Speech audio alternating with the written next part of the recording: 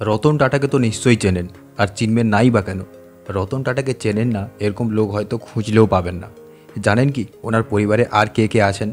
জানতে হলে পুরো ভিডিওটা দেখুন। ভারতীয়দের কাছে এক আদর্শ ব্যক্তি রতন টাটা। যদিও নিজের পরিবার নিয়ে তেমন কিছু বলতে চান না টাটা গ্রুপের কর্ণধার। কিন্তু আপনি কি জানেন, তার পরিবারের সদস্যদের সম্পর্কে? চলুন আজ আমরা সে কথাই জানাব আপনাদের। Simone naval Tata. এই সাইমন নোভাল টাটা হলেন রতন টাটার সৎ মা।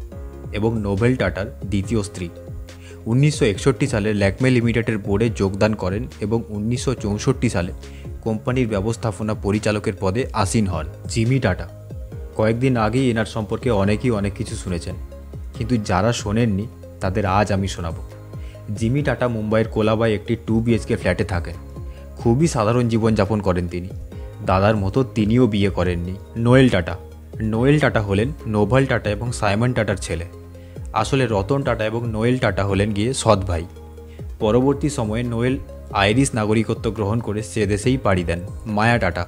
নোয়েল টাটার ছোট মেয়ে মায়া টাটা। টাটা ডিজিটালে কাজ করেন তিনি।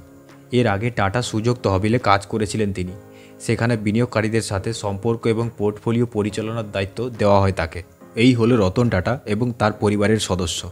এরকম আরও নতুন নতুন তথ্য পেতে চ্যানেলটিকে সাবস্ক্রাইব করে সঙ্গে থাকুন।